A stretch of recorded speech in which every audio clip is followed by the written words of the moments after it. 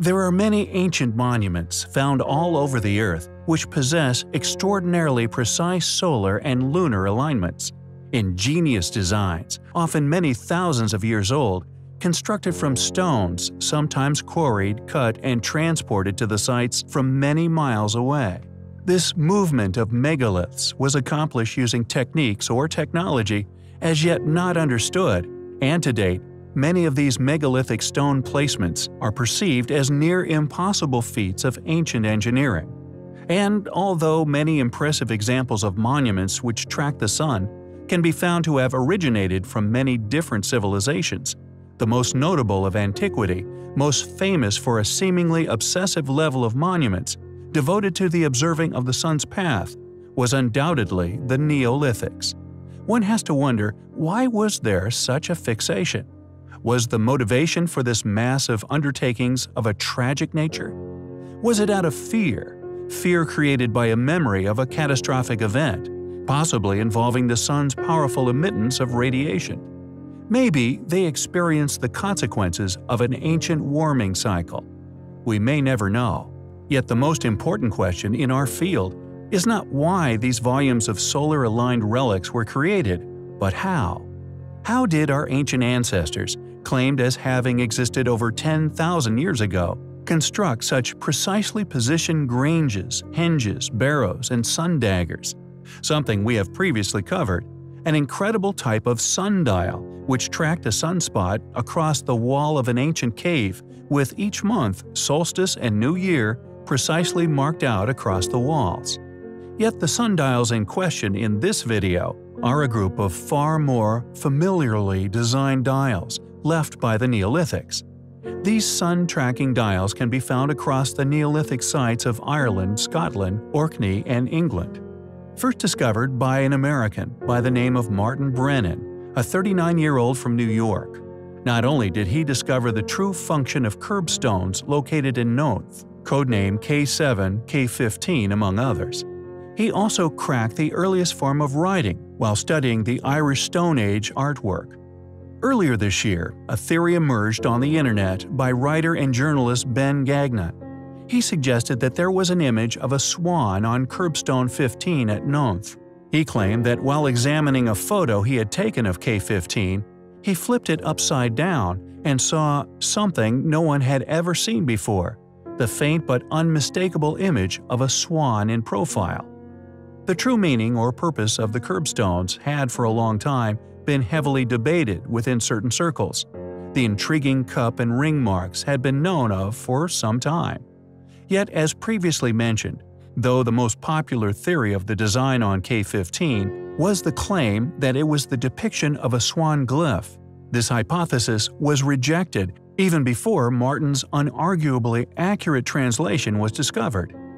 Martin identified the sundial while examining a passage mount in the Boyne Valley. And although sundials thousands of years old have been excavated throughout Europe, Many specialist individuals reviewing Martin's finds believe that the sundial discovered in County Meath is the oldest and possibly most important ever found. According to Martin, who has been studying megalithic Irish art for the last 10 years, Ireland's megalithic tombs are suffering from appalling neglect. Some of the most important passage mounds excavated previously have been ignored or conveniently completely sealed up. Martin's discoveries are undoubtedly remarkable and are of tremendous value to our ongoing deciphering of ancient antiquity and its past civilizations. It is a journey of discovery we find highly compelling. There are countless astonishing relics still to be unearthed in Peru, rediscovered within the modern age. Like that of Machu Picchu, long forgotten, engulfed by nature, still hidden within our past with those which are rediscovered, simply dismissed en masse by cult-like actions of many of our modern institutions, most of which at a loss to explain the advanced nature of many of these relics, simply labeling said sites as pre-Incan. Peru is home to some of the most exquisite polygonal stonework to be found anywhere on the planet. Additionally, some of this inexplicable stoneworking incorporated some of the most enormous of stones into their construction. Furthermore, the Inca Road, a ruin we have previously covered, long ignored and rarely discussed, it is the largest man-made structure ever found, dwarfing the Great Wall of China, stretching an astounding 25,000 miles, once connecting many of the most inexplicable sites found within the country. It seems Peru was once a very important place, and possibly the capital of a civilization now lost long ago within history. Many of the unexplained ancient ruins we cover also express a near obsession with the movement of the planets amongst the stars. And a huge portion of these ruins are either celestially aimed or had some form of astronomical significance built into their design. And our next subject of interest is of no exception. Known as Chankillo, we feel it is a demonstration of exceptional astronomical knowledge, abilities far out of the reach of its currently academically claimed constructor. Rivaling even that of Stonehenge, it is an ancient monumental complex located along the Peruvian coastal desert in a place known as the Casma-Sechin Basin within the Ancash department of Peru. Atop a hill, there are 13 towers regularly spaced, forming a toothed horizon. What is incredible about this undertaking, however, is that throughout the year, if one is positioned in the correct place, one can witness the sunrises between each of these ridges, with solstices also significantly highlighted by their builders. The question is, how did a people placed centuries ago within known history, and thus with a far more limited understanding of astronomical precisions, accomplish the building of such an enormous ruin, aligned with the sun with such accuracy? Just like that of the precision displayed in other ancient ruins, perfectly aligned to cardinal points, the Chankillo is yet another example of an ancient civilization's workmanship, far more advanced and far more capable than that of the culture academia currently claims as the maker of said relic. From the east and west, investigators designated two possible observation points. From these vantages, the 300-meter-long spread of the towers corresponds to the rising and setting positions of the sun over the year. On the winter solstice, the sun would rise behind the leftmost tower of Chankillo, and rise behind each of the towers until it reached the rightmost tower six months later on the summer solstice. Inhabitants of Chankillo would have been able to determine the date with an accuracy within a day or two simply by observing the sunrise or sunset from these correct observational points. The 13 towers have been interpreted as an astronomical observatory, built in the 4th century BC. However, we believe, with such incredible abilities and knowledge of the precessional positions required to have constructed these towers, they are far out of the reach of our own well-studied currently claimed ancient ancestors. Claimed as that of the Casma-Sechin culture, we however disagree with this posit, simply on the grounds of its astonishing nature and the capabilities of its past constructor. It is a place which we find highly compelling. We are often confronted with peculiar, seemingly impossible artifacts that will, after some in-depth investigation, leave one with more questions than answers. This, either due to their enormous, often seemingly impossible sizes, megaliths in some locations weighing far over 1,000 tons. Somehow, once used in their construction, sometimes set aloft, proof that not only were these stones hewn but moved and lifted seemingly with ease. But also, alas, the lack of public exposure many said sites are granted often minimal at best, thus countless examples of advanced ancient technology remain still hidden here upon our planet. As a consequence, many have avoided scrutiny. Details therein which are clearly of a controversial nature are conveniently absent any funded studies of said ruins. We feel ruins of great importance, but due to the strength of evidence one can surmount in support of past once highly advanced ancient civilizations at said locations, they are largely overlooked and actively avoided by funded archaeologists, academics, and historians alike en masse.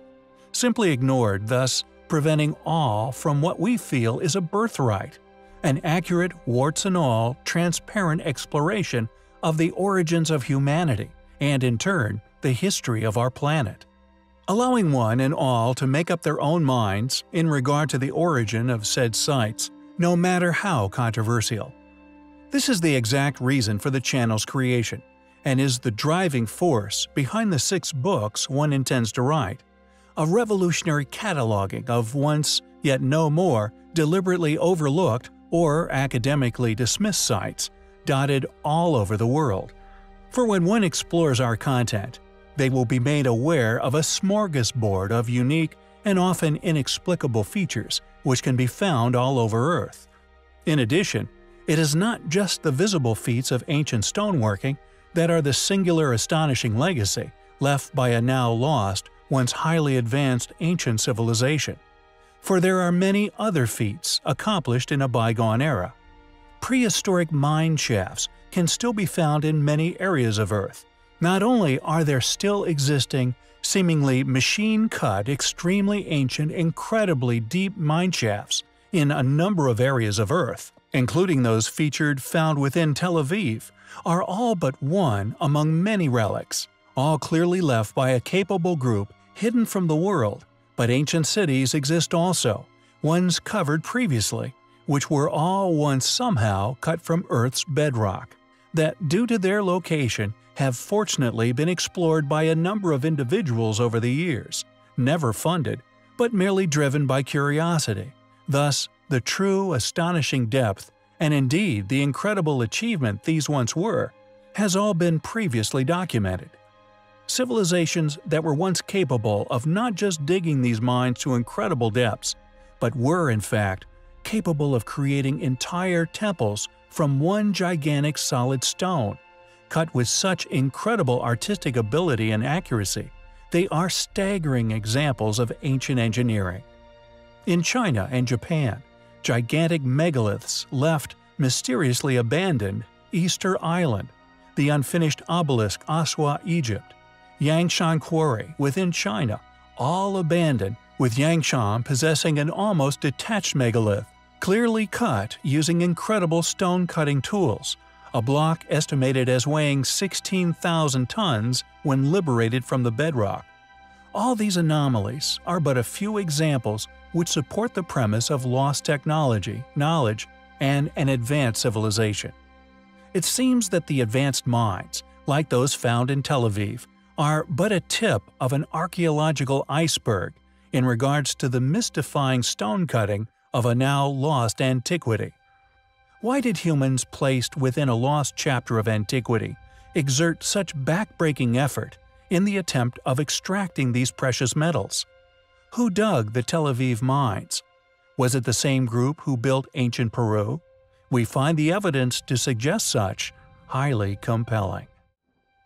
The megalithic marvels of lore, very rarely studied, academically explored, or publicized, yet regardless of this, remains one of the most curious and intriguing ruins of the Neolith menhir age. Not only still in existence, but with many menhirs still erect, still standing tall across the landscape to this day, a legacy left to us by a now lost civilization.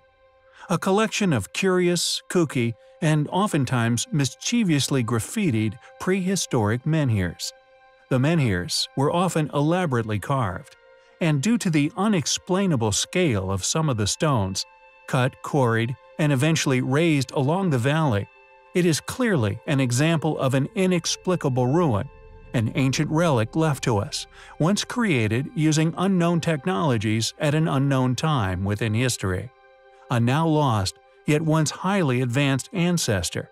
Impossible for the current academically claimed culture, which is clearly a fallacy within modern paradigm. Some of the inexplicably huge stones incorporated into these sites are now being found scattering our planet. Like that of the Plain of Jars located in Laos, an unusual, enigmatic site we have also covered in the past possesses stonework from megalithic blocks of inexplicable sizes. These gigantic stone carvings, menhirs and jars, some still in astonishing conditions, are a testament to what our lost ancestors were once capable of, and due to the immense size of the stones they could control, have successfully left their mark far into an unknown future, our present. The channel feels a duty clearly as a far less capable civilization, that we do not withhold the evidence for their existence, which has been a great disservice to those who deserve the truth. Multi-ton menhirs are located all across the Bada Valley, but not just the Bada Valley. Menhirs can be found across the globe, located in many countries, even in New Zealand in Rodney County. The erosion of many of the world's menhir stonework, we feel, is indicative of incredible aging, and as such, possibly from the same era as the Bada Valley's mysterious menhirs. Yet regardless of whoever made these sculptures, there will never be any academically admittance to the evidence that these particular stoneworkings are found all over the planet. Yet regardless of anyone's opinions regarding their past use, a function undertaken at a time so long ago, we may never know the true purpose of what our distant ancestors may have been trying to tell us all those millennia ago, only time will tell. The menhirs and the henges found worldwide many now widely known about, have blown a few holes into the hull of the sinking ship that is academic paradigm. The fact that these menhirs are no less common and no less scattered across the globe merely lays another nail in the coffin for the timelines academia put forward for the migrations of man, and even our beginnings, for to have these unusual megaliths everywhere, their builders must have been everywhere too a highly advanced, highly capable, once world-going ancient civilization an extremely long time ago. One which we find highly compelling.